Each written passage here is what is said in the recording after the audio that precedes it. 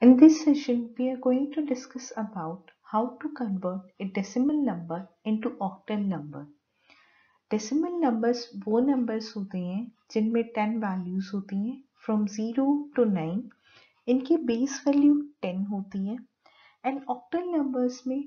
we have 8 values from 0 to 7 इनकी base value 8 होती है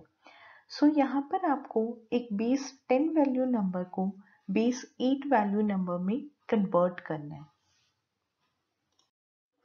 Let's first understand how to convert a decimal integer number into octal number decimal integer number को octal number में convert करने के लिए हम उसे रिपीटेडली एट से डिवाइड करते हैं। Up to the point quotient is zero at each division step we note on the remainder values हम रिमाइंडर वैल्यूज़ को नोट डाउन इसलिए करते हैं बिकॉज़ जो हमारी रिमाइंडर वैल्यूज़ हैं, उन्हें जब हम रिवर्स ऑर्डर में राइट करेंगे starting from bottom to top order that will frame our resultant octal number now to convert fractional decimal number into octal number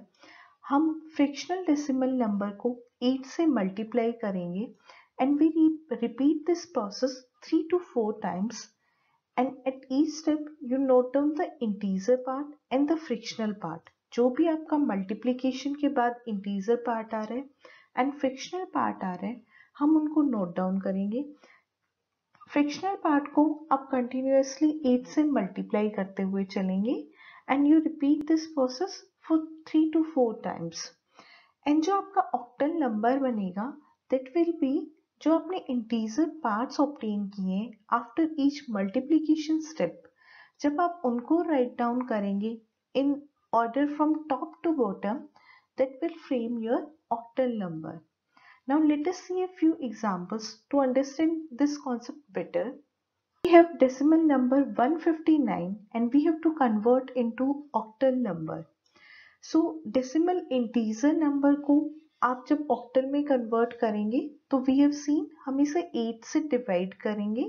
and we note down remainder and quotient values quotient आपको zero तक इस step को repeat करना है। सो so, यहाँ पर अगर आपने 159 को 8 से डिवाइड किया you get remainder is 7 and quotient is 19 अब आप 19 को फिर से 8 से डिवाइड करेंगे you get remainder is 3 and quotient is two. आपने टू को एट से डिवाइड किया you get remainder is two and quotient is zero so जो आपके रिमाइंडर वैल्यूज़ आई हैं, आप इनको जब बॉटम टू टॉप ऑर्डर में राइट डाउन करेंगे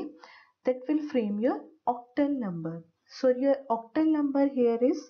two three seven so जो 159 डेसिमल नंबर था, उसका octal conversion is 237 Now let us see another example where we are considering integer part and the fractional part. Decimal number is 295.28. इसमें 295 आपका integer part है two eight आपका fractional part so integer part को octal में convert करने के लिए आप उसको 8 से डिवाइड करेंगे 295 divided by 8 remainder is 7 and quotient is 36 36 को आपने फिर से 8 से डिवाइड किया। आपका रिमाइंडर आया 4 एंड क्वेश्चन इज़ 4 4 को आपने 8 से डिवाइड किया। You get remainder is 4 and quotient is 0 we got quotient is 0 here so this is our end point जब भी आपका क्वेश्चन 0 आता है then we need to stop the division process so यहाँ पर आपके रिमाइंडर वैल्यूज़ हैं ये एंड जब आप इनको बॉटम टू टॉप ऑर्डर में राइट डाउन करेंगे that will frame your octal number so आपका डेसिमल इंटीजर पार्ट 295 का ऑक्टल कन्वर्जन हुआ 447 अभी हमने इंटीजर पार्ट का कन्वर्जन किया है फ्रिक्शनल पार्ट का कन्वर्जन अभी पेंडिंग है। So let's see how to convert this fractional part into octal number fractional decimal number को ऑक्टल में कन्वर्ट करने के लिए हम उसे 8 से मल्टीप्लाई करते हैं and we note down the integer part and the fractional part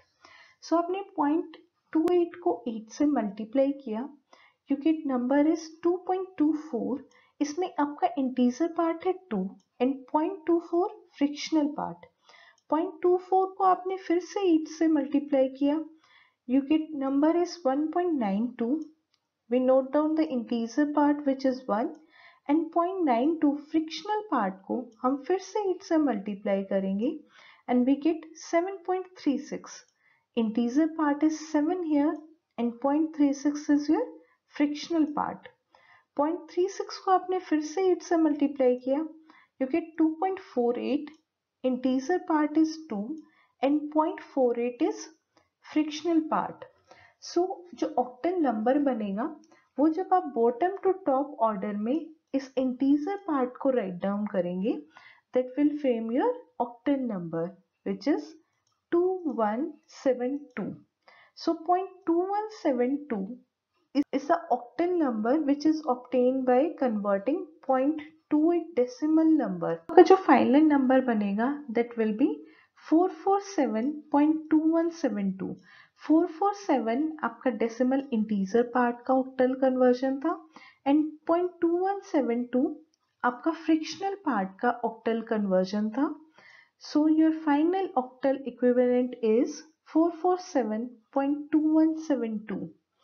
This was all about how to convert a decimal number into octal number. To understand more about number system, you can refer to our playlist which is Digital Electronics in Ajisha Academy channel